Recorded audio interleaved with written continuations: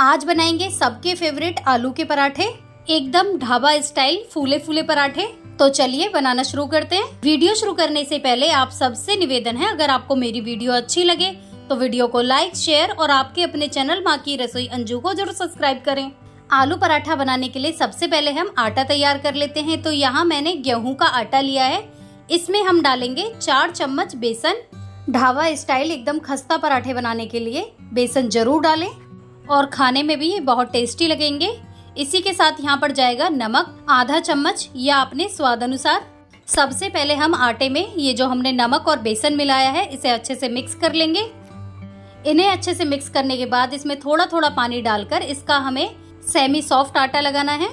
ना ही ज़्यादा सख्त और ना ही ज़्यादा मुलायम। कचौड़ी हो या हो भरवा पराठे, इनके लिए आटा थोड़ा सॉफ्ट ही लगाया जाता है। इससे पराठे बनाते टाइम पराठे हमारे एकदम फूले फूले बनेंगे और बिल्कुल भी नहीं फटेंगे। और देखिए, यहाँ पर हमने एकदम सॉफ्ट आटा लगा के तैयार किया है। अब इसमें हम डालेंगे एक चम्मच घी। आप यहाँ पर घी की जगह तेल भी ले सकते हैं, लेकिन घी से पराठे वगैरह एकदम बढ़िया बनते हैं। अब इसे एक बार और अच्छे से मसलते हुए घी को इसमें मिक्स कर लेंगे। और ये देखिए, आटा हमारा एकदम बढ़िया यहाँ पर लग के तैयार हो गया है। अब इसे पाँच मिनट के लिए ढक के छोड़ देते हैं और पराठा बनाने के लिए आलू का मसाला तैयार कर लेते हैं। तो यहाँ पर मैंने लिए हैं उबले हुए आलू। आलूओं को मैंने सबसे पहले छील लिया है। पराठे वगैरह बनाने के लिए आलूओं को हमेशा ठंडा करके ही लें। अब आलूओं को हम कद्दूकस कर लेंगे। कद्दूकस करने से इनमें गुठलियाँ नहीं रहती। आप चाहें तो इन्हें मैशर से मैश भी कर सकते हैं। अब यहाँ पर हम कुछ मसाले मिला लेते हैं। तो यहाँ पर मैंने एक चम्मच लाल मिर्च पाउडर और एक चम्मच धनिया पाउडर डाला है। इसी के साथ इसमें आधा चम्मच जीरा डालेंगे। आप यहाँ पर साबुत जीरे की जगह जीरा पाउडर भी डाल सकते हैं। नमक डालेंगे स्वाद अनुसार।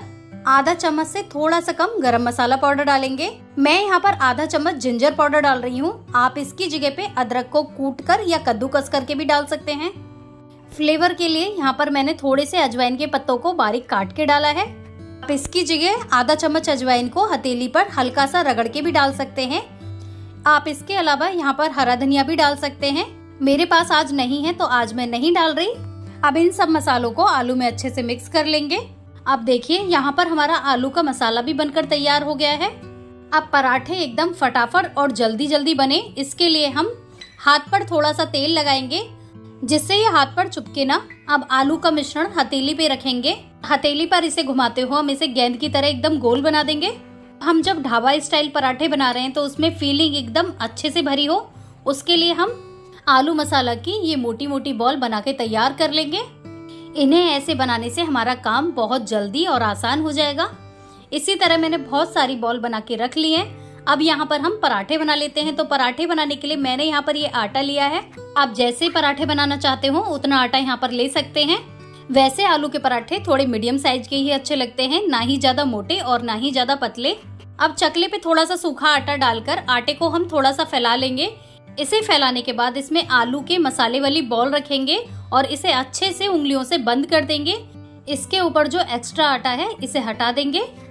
फिर से चकले पे थोड़ा सूखा आटा लगाएँगे और इसके बाद इसे उंगलियों से इस तरह थोड़ा सा फैलाएँगे, जिससे आलू का मसाला इसमें एकदम बराबर चारों तरफ़ अच्छे से फैल जाए। और फिर इसे हल्के हाथ से बेलन से बेल लेंगे। आप बिल्कुल इसी तरीके से पराठे बनाएँगे तो आपके पराठे भी कभी नहीं फटेंगे और एकदम फूले फूले बनेंगे। और देखिए, बेलन से हमने पराठे को अच्छे से बेल लिया है। और अब आप देखिए, पराठा कहीं से भी नहीं फटा है।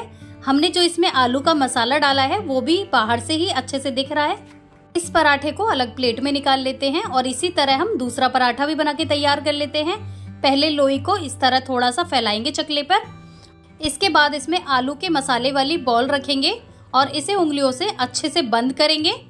इसे बंद करने के बाद इसमें जो ऊपर एक्स्ट्रा आटा निकलेगा, उसे उंगलियों से इस तरह हटा देंगे। फिर से चकले पे सूखा आटा लगाएँगे और इसे थोड़ा सा उंगलियों से इस तरह फैला लेंगे, जिससे मसाला इसमें चारों तरफ़ अच्छे से फैल जाए। फिर इसे हल्के हाथ से बेलन से बेल लेंगे। बहुत ही आसानी से बनकर तैयार हो जाते हैं। गर्मा गर्म आलू के पराठे किस किस को पसंद है, एक बार कमेंट्स करके ज़रूर बताएँ। तो लीजिए, हमारा ये पराठा भी बनकर तैयार हो गया है। अब तवे को गैस पे गर्म होने रख देंगे, और जब तवा अच्छा गर्म हो जाएगा, पराठे को तवे पे डाल देंगे। गैस को यहाँ पर मीडियम ही रखेंगे और जब इसका हल्का कलर चेंज होने लगेगा, पराठे को पलट देंगे। इसके बाद जब ये नीचे से थोड़ा सिकने लगेगा, इसके जो ऊपर की सतह है, उस पर घी लगा देंगे। आप घी की जगह तेल भी लगा सकते हैं, लेकिन घी से पराठे वगैरह बहुत अच्छे बनते हैं। और घी लगाने के बाद इसे हल्के हाथ से कड़छी से पलट देंगे। देखिए, एकदम फूला फूला हमारा पराठा बना है। अब इसकी दूसरी साइड पर भी थोड़ा घी लगा देते हैं। और इसे वापस कड़छी से पलटेंगे। अब यहाँ पर थोड़ी देर के लिए गैस को यहाँ पर स्लो कर लीजिए और स्लो गैस पर इसे अलटते पलटते हुए हल्का दोनों तरफ़ से सुनहरी जब तक नहीं हो जाता, तब तक इसे सेकेंगे। कड़छी से इसे बीच बीच में दबाते रहेंगे। और देखिए, पराठा हमारा यहाँ पर सिककर तैयार है। इसी तरह हम दूसरा पराठा भी सेक लेते हैं। पराठा जब एक तरफ़ से हल्का सिक जाएगा, इसे पलट देंगे और इसके ऊपर फिर हम घी लगा लेंगे। और देखिए, सारे पराठे एकदम फूले फूले बनकर तैयार हो रहे हैं। वापस इसे भी पलट देंगे और दूसरी तरफ़ भी इसी तरह हम हल्का हल्का घी लगा लेंगे। घी लगाने के बाद गैस को हम फिर से स्लो करेंगे और इसे स्लो गैस पर ही अलटते पलटते हुए एकदम खस्ता पराठा यहाँ पर बनाकर हम तैयार करेंगे। तो लीजिए, हमारा ये पराठा भी सिक्के तैयार हो गया है। अब इसे अलग प्लेट में निकाल लेते हैं। आप एक बार इस तरह से आलू के पराठे बनाकर देखिए, आपके पराठे कभी नहीं फूटेंगे। ऐसे ही एकदम फूले फूले पराठे बनेंगे। अब आप इसे चाहे मक्खन के साथ खाएँ या सॉस के साथ, चाय के साथ भी गर्मा गर्म आलू के पराठे बहुत ही टेस्टी लगते हैं। ऐसी ही टेस्टी और आसान रेसिपी के लिए मेरे चैनल माँ की रसोई अंजू को ज़रूर सब्सक्राइब करें। Thank you.